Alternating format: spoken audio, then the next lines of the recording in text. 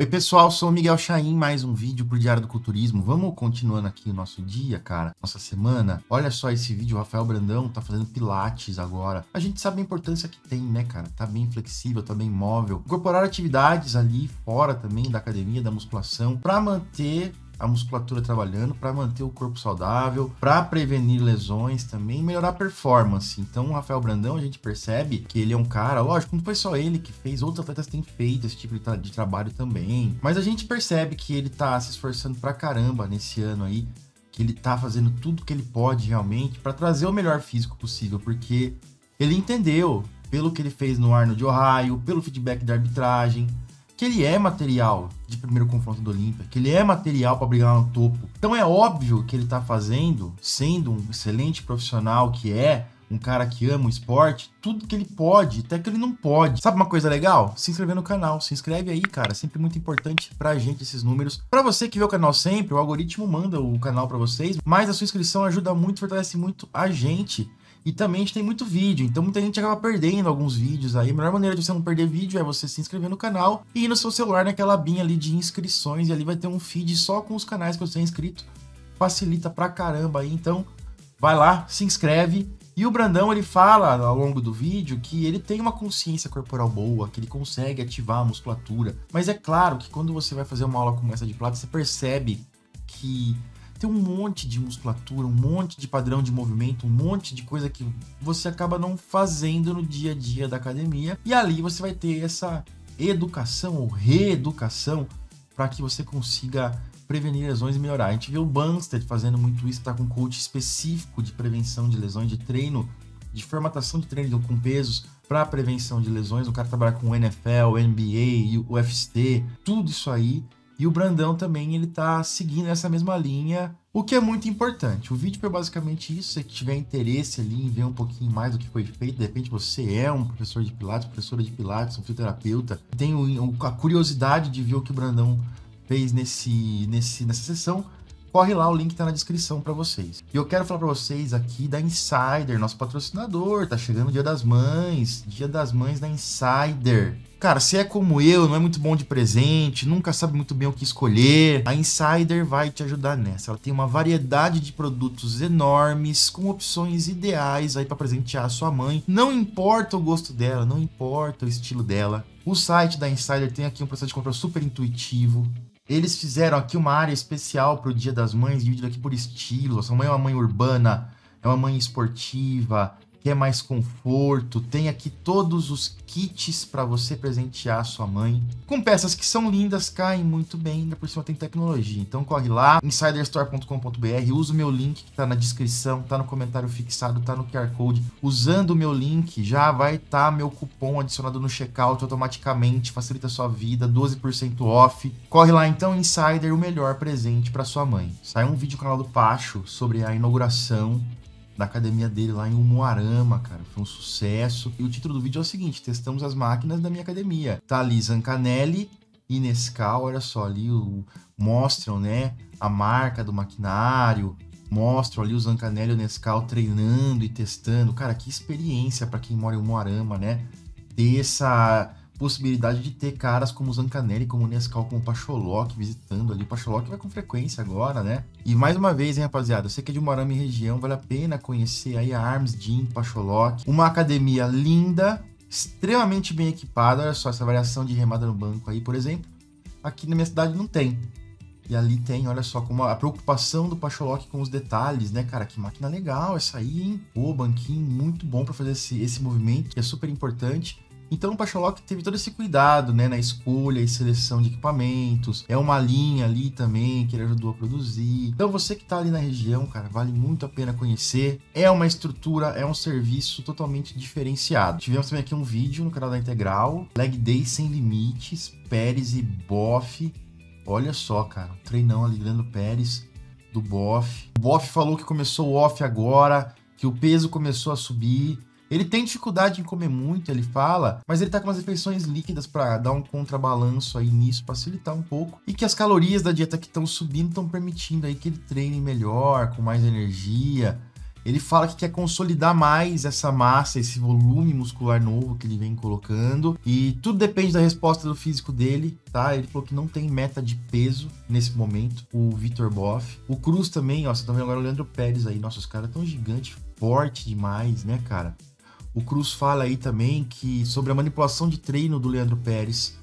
Ele tem feito um trabalho com cadências variadas na execução porque o Pérez vinha de movimentos muito acelerados. Então é importante que você faça um movimento a, a concêntrica, uma boa velocidade, mas tem que ter o controle da contração. Não adianta você jogar o peso para cima. Então você tem, na teoria, você tem, tenta usar a maior velocidade possível enquanto mantém o controle. Controla a negativa um pouco mais. Tem gente que consegue usar a negativa um pouco mais rápida, porém controlada sem perder a contração. Então tudo vai muito da habilidade do atleta da pessoa de conseguir dominar essa contração e dominar essa velocidade de contração. Para isso tem que ter um coach experiente do lado, com olhos experientes ali que vai saber compreender o que está acontecendo e direcionar para você a velocidade ideal da sua contração. O Marcelo Cruz tem uma grande experiência aí treinando atletas de alto nível, então ele observou de repente esse detalhe no Leandro Pérez ali e agora estão mudando algumas cadências, fazendo algumas vezes mais devagar, algumas vezes mais rápido, etc. Mais pro fim do treino ali, o Boff mostra o pump, como que tá a perna dele nesse momento aí. Mais pro fim do treino, brutal, né, cara? Perde até o corte de tanto pump lá, comendo, né? Sem vergonha, treinando que nem um animal. Ali eles usam, né, esse Cybex articulado com um elástico. Fica aqui uma observação, né, cara, para vocês que, enfim, isso aqui é algo bem específico ali que o Cruz quis passar. Mas, por exemplo, quando vocês têm um leg press convencional, aquele leg press de carrinho, a carga dele não varia. A carga dele, lógico, é uma, é uma angulação de 45 graus ou 30, depende. Mas a, a, a, a carga gerada ali é a mesma. Porém, a gente tem ali, por uma questão de alavanca e tudo mais, desenho muscular, uma capacidade maior de gerar força na parte de cima do movimento. Então, quanto mais você desce, a gente tem fica mais pesado, fica mais difícil gerar força. Por isso que a gente sente um leg press de carrinho muito mais pesado embaixo do que em cima. Parece que chega do meio para frente, ele vai que vai, decola. Porque ali está melhorando o braço de alavanca, das articulações, a musculatura e está conseguindo gerar mais força. Então a gente tem uma capacidade de gerar força que vai subindo nesse leg press normal de carrinho, conforme a gente estica a perna mas o peso se mantém o mesmo. E aí, nesse caso do leg press de carrinho, é interessante você usar um elástico nesse sentido, porque você vai fazer com que o perfil de resistência seja igual ao perfil de força. Sua capacidade de gerar força vai ser um arco crescente. Quando você coloca o elástico, ele também vai ser um arco crescente, ele não vai ser mais uma linha reta só. Eu devia desenhar isso aqui para vocês, mas enfim, quem quiser, eu falo muito, já falei muito de elástico, a gente desenhava e tudo. A galera encheu um pouco só para quem quiser, a gente volta a falar um pouco mais sobre isso. Num leg press articulado como esse, vocês percebam que conforme ele empurra o, a, a, a, plataforma, a posição das anilhas muda. Elas vão chegando mais próximo do atleta ficando mais longe da máquina. Isso porque essa máquina já é desenhada para ter um perfil de resistência que bata com o perfil de força. Ou seja, essa máquina ela é um pouco, a grosso modo falando, mais leve embaixo, um pouco mais pesada em cima já para meio que bater. Mas nesse caso aí, o Marcelão quis colocar mais sobrecarga em cima ainda. E aí ele colocou o elástico. No final do treino, olha só, aí o Boff e o Pérez mostraram como tá o pump da perna. A perna do Pérez também cresceu, a do Boff também tá um pouco mais seca ali, né? Bizarro os dois. E agora, notícia não tão legal, né, cara? O Flex Lewis se lesionou, olha só, rompeu ali completamente o tendão do tríceps dele. Pode ver aqui nesse post que ele fez, olha só, ele coloca foto, né? Ficou aqui um hematoma. Cara, chato isso aí, né, mano? Ele falou que isso aconteceu no primeiro dia de férias dele nas Ilhas Caimã. Falou que a cirurgia, isso aqui foi postado ontem à noite, tá? Que a cirurgia é amanhã, portanto hoje. Aí ele falou que, cara, foi o primeiro dia das férias, ele falou que se recusou a arruinar a, as férias ali da família dele e tal. Então ele tá esperando aí que tudo se dê, dê certo, que tudo corra bem. Ele já sabia que era uma ruptura pelo, por todo o edema que criou, por todo o hematoma que criou. Depois de ter gravado esse vídeo aqui, ele fez uma ressonância magnética e mostrou realmente que a ruptura foi total do tríceps. Cara, que chato, né? Uma, uma lesão desse tipo é horrível. E aí ele falou, né, cara, como você vê que o cara é profissional, né? Que ele ficou umas duas semanas aí com obrigações contratuais, profissionais, e só contou para pouquíssima gente. Mas ao longo de tudo isso, ele manteve ali um mindset positivo durante todo o processo. E ele sabe que, enfim, aconteceu e não tem como voltar, né? A parte mais difícil é que ele tava voltando realmente a gostar de treinar novamente. Isso que é. Enfim, o cara que tá ali. Eu também, cara, já tive meus, meu tempo de competição, que eu treinei pra caramba, muito, muito, muito. Também passei os últimos anos aí naquela fase de, ah, não gosto tanto mais de treinar, ah, pô, tive que colocar tanto esforço suor e tempo pra competição e tal. E agora eu tô voltando a gostar de treinar de novo, eu tô me motivando, eu tô conseguindo treinar e, e nossa, me coloca a situação do flex, sinto muito flex, sinto muito mesmo, espero que tudo corra rápido.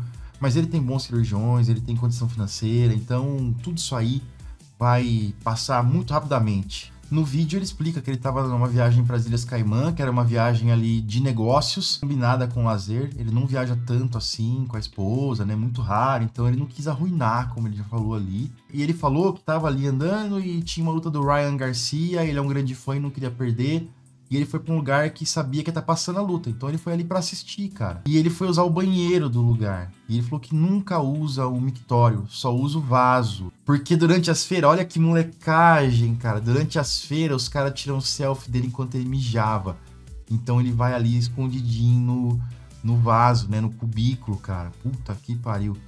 E ele explica que foi no banheiro normalmente, a fechadura da cabine estava quebrada, e geralmente é quebrada, então enquanto ele mijava com uma mão, ele segurava a porta com a outra, tá ligado? Ele tava, enfim, segurando a mão, possível a porta somente com a mão para trás, com o braço estendido ali, como se fosse fazer um trispiscoice ou alguma coisa assim e veio um cara e chutou a porta, meteu o pé na porta. Aí a galera pergunta o que você fez com o cara. Ele falou assim: cara, eu tenho um temperamento difícil, esperei fundo, voltei lá pros meus amigos, comecei a sentir uma dor muito forte, pedi para ir embora. Naquele momento ninguém sabia o que tinha acontecido, ele contou para ninguém. Para não criar um rolo ali também, né, cara? Uma confusão num outro país, de repente. Ele viu a luta pelo celular e na manhã seguinte, quando a mulher dele foi acordá-lo ali, ele percebeu que tá todo roxo o braço dele. Ele falou que não quer que as pessoas sintam pena dele. Ele também não. Assim, porque ele não quer preocupar as pessoas, entendeu? Ele quer que todo mundo fique bem, que ele tá bem. Ele já podia ter feito a cirurgia, mas ele tem. Ele teria ainda que um outro.